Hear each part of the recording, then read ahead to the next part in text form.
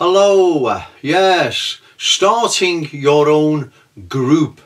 That's right, I make this video in response to a message I've just received an hour ago or so from a young 17 year old lad that lives in Leicester. He asked for some advice, what can he do given where he lives?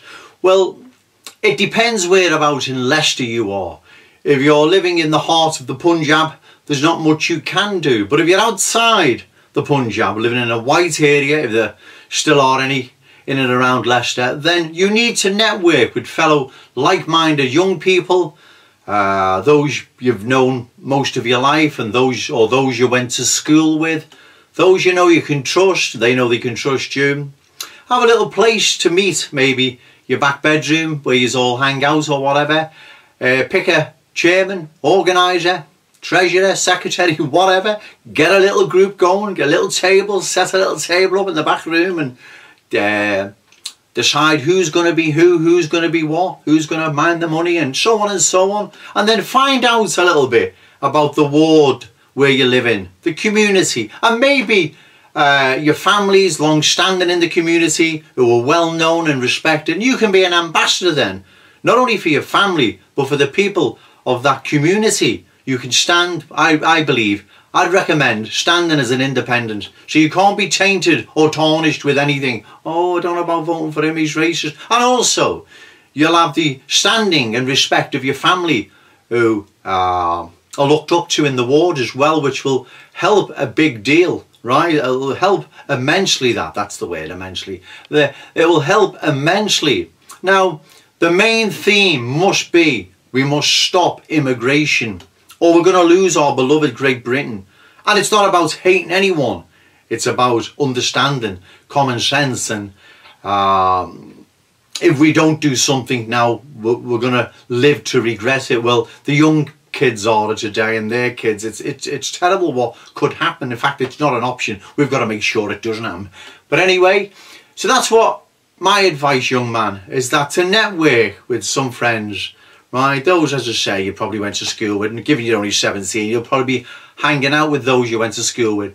Get a little meeting place in the back bedroom, pick who's going to be what, and then once you've, you've sorted your little committee out and who's who and what's what, then have some plans then, how you're going to approach things. Read the local uh, papers, um, even free ones you get pushed through the door, all and they, they can be quite handy to read and Find out what's happening locally in the ward, what's happening regarding rubbish, the bins get being emptied, crime, um, dogs fouling the, the, the, pavement and so on and so on, as well as uh, asylum seekers that may be getting dumped in the area, which is taking up more resources. It's impacting on the locals' schools, local doctors, local dentists, uh, local uh, job market, local housing market, and so on and so on. And Get your information, get your facts, put it in a leaflet, and when you're old enough, is it 18 you can stand for the council or 21? I'm not quite sure, but either way, either way, regardless,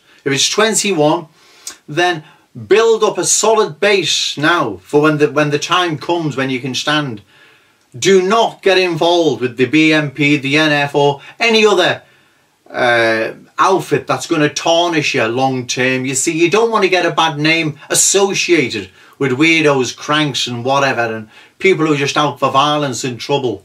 We need new ambassadors for our cause, for British nationalism. In the past, unfortunately, our leaders have been tainted, you know, with stuff we, he could have done without Nick Griffin. He wasn't too bad, Nick Griffin, but John Tyndall, you know, he was um, he was tarnished too much with some very, very bad baggage, you know. So we need new ambassadors now that are going to push British nationalism, even if it's only an independent you're standing for, you will still be pushing the fundamental principles of British nationalism.